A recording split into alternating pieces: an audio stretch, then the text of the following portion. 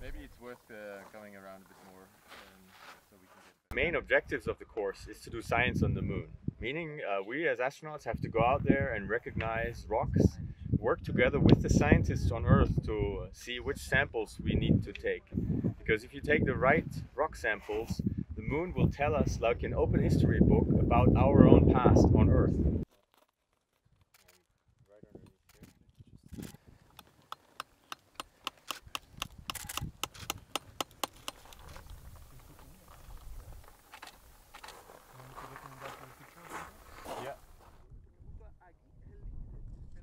Does not have erosion on the surface.